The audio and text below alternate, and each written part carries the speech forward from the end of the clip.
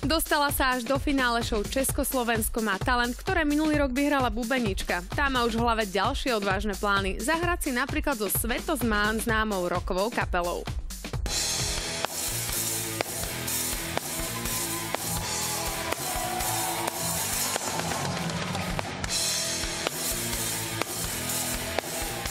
Nikolka, ako sa tebe zmenil život, odkedy si zvíťazila a vyhrala si? Čo sa ma to? Určite ma viac volajú na rôzne akcie, uh, som taká známejšia a ľudia ma aj spoznávajú. Čo robí mladá hudobníčka dnes a na čo použila výhru? Kúpili sme si väčšie auto, lebo sa nám do toho, čo sme mali predtým, sa nám tam nezmestili moc bici, takže sme tam úplne boli na tlačenku, ale teraz už máme väčšie a zmestíme sa to a chcela by som ešte tie peniaze aj zaradiť do môjho koníčka, že by som si e, kúpila lepšie vybavenie. Pokiaľ ide o muziku, Nikoleta vie presne, čo chce.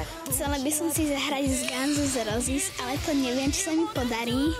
Možno ešte s Metalikou, ale no neviem, budem na sebe tak pracovať, že môžem až, dúfam, možno sa mi to podarí. Talentovaná umelkyňa je aj veľmi dobrou motivátorkou. Decka, ktoré na nejaký hudobný nástroj hrajú alebo majú talent, aby naozaj naozaj sa do toho úplne zapreli, lebo keď má niekto talent, tak by to mal ukázať. A niekoľko takých talentov uvidíte aj túto sobotu. Martina Štefánková, televízia Joj.